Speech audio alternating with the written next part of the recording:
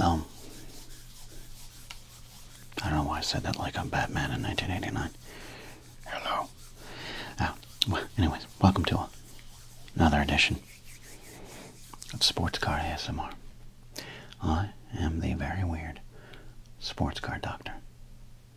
And uh, this is our series, Crinkle and Rip. It's a straight to the point. We crinkle some cards, and then we rip the pack. We break the pack. Could be some baseball, football, hockey, some Winston-Salem race card pack. We have that. Could be a lot of things. Last time I had was Hanna-Barbera football cards. It's our short series here, and we want to invite you to subscribe. Hit that notification bell so you don't miss our other episodes that we have on Sundays and Wednesdays with the price guide episodes. And this fun little supplemental series to get your weekend started in a relaxed way. We're actually going to do two packs of cards this time. You're going to have two sets of crinkles and two sets of rips. We're going to do a big and small episode here. We got these uh, Topps cards, first series big baseball cards, average, uh, bigger than your average uh, cards there. Good for them. Lucky. Not not every man gets that. And then we got these 1990 Major League Leaders super glossy baseball cards. 35 cent pack. Eight in there as well. So, um, seven in here, eight in here. That's 15. That's like one pack. So, we're going to do it. We're going to go big first, then small. I'll say this, it's a little hard. They're so tightly wound. Hard to crinkle. I almost think we need to open up the pack. Just to get a little crinkling going.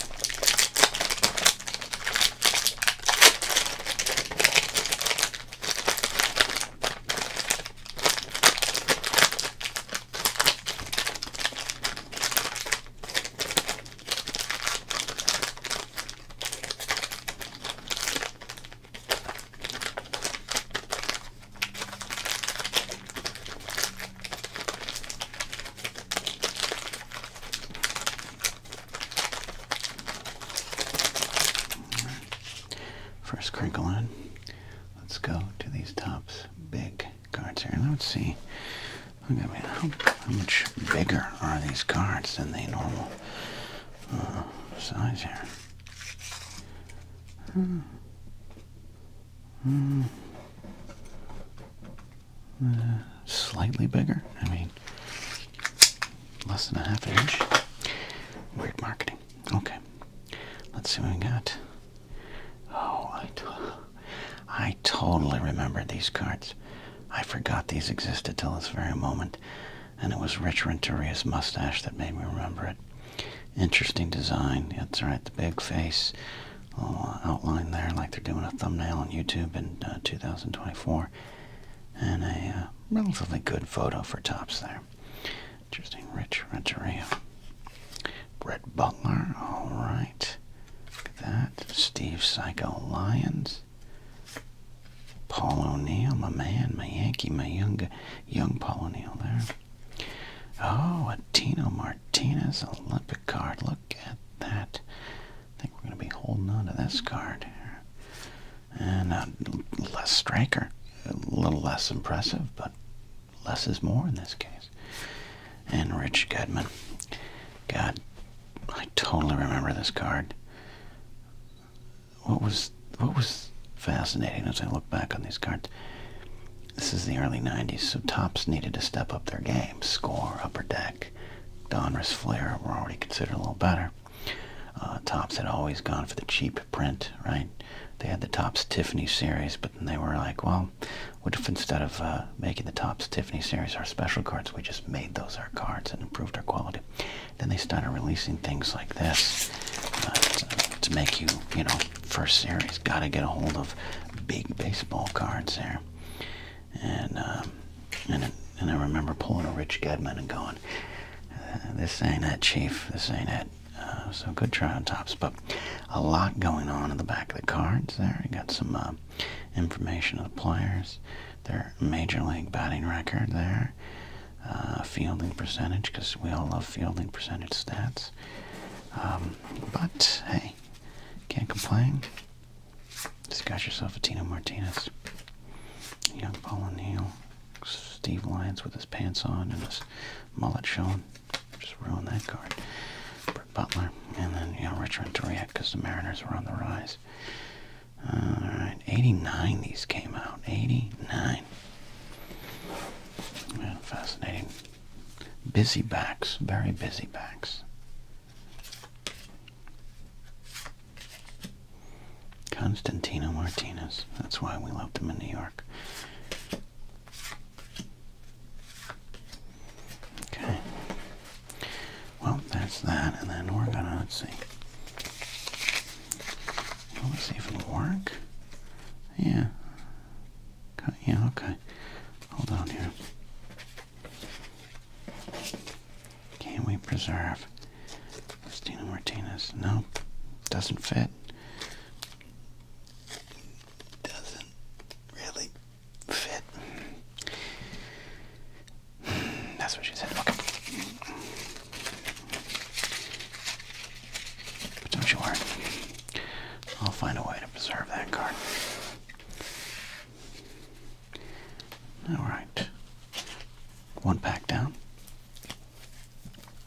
Same thing. Very tightly wound little pack of cards here.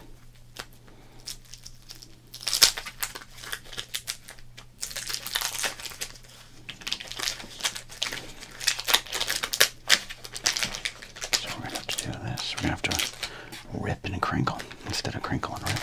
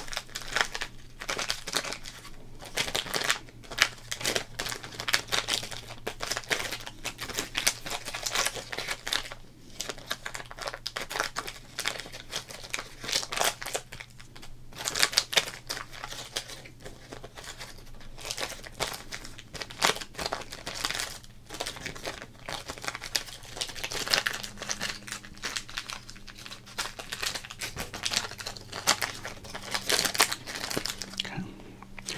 Let's see who our 1990 Major League leaders are here. We got a little insert card there to get some, catch some spring fever if you'd like.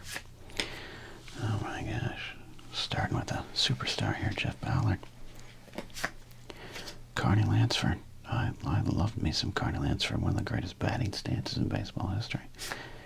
Mark Davis, hey, Cy Young Award winner Mark Davis right there. Ooh, okay, okay. A little Greg Maddux action. Coming up with the Cubs there. It's Brett Butler's day around here. We're pulling ourselves some Brett Butlers. Tim Burke, great relief pitcher with the Expos. Bulldog, not a bad pack here. And then Dave Stewart. Look at that. Uh, official ranking based on 1989 American League stats. He was second in victories in the American League. Interesting idea for cards. Again, a way to make you spend more of your allowance money. Uh, but I like it. They're not a bad little pack of cards.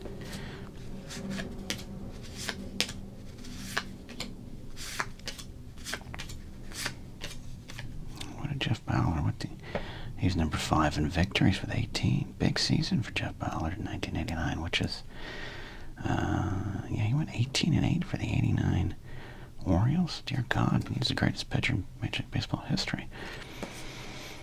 to do that with that team. Carney Lansford, uh, number two in batting average, number five in on-base percentage. Good for him. Mark Davis, again, Cy Young Award winner in 1989 in the National League, number one in saves. They were just so over overcome by that. They gave him the award. Four and three, 44 saves, a 1.85 ERA. Um, I think, or 9.5 point. The eyes fail me. My, my 1989 eyes are not on me now. Appeared in 70 games, and that's enough to get you a Cy Young Award. We got Greg Maddux. Look at this. Number two in victories with 19. Little young Greg Maddux. Also had 12 losses that season, but a 2.95 ERA in 1989. Brett Butler here again. Uh, number four, tied in runs in the National League. He'd end up with the, the Dodgers, of course, there. Tim Burke, tied for fourth in saves at 28, helping your fantasy baseball team out.